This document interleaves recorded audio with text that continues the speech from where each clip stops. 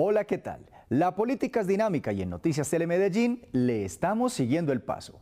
Aunque faltan nombres por conocerse, el electo presidente Iván Duque ya entregó detalles de cómo estará conformado parte de su gabinete. Por ejemplo, Alberto Carrasquilla será ministro de Hacienda, Andrés Valencia será ministro de Agricultura, Guillermo Botero será el nuevo ministro de Defensa, Juan Pablo Uribe será el ministro de Salud. Carlos Colmes Trujillo será el ministro de Relaciones Exteriores, mientras que José Manuel Restrepo será el nuevo ministro de Comercio.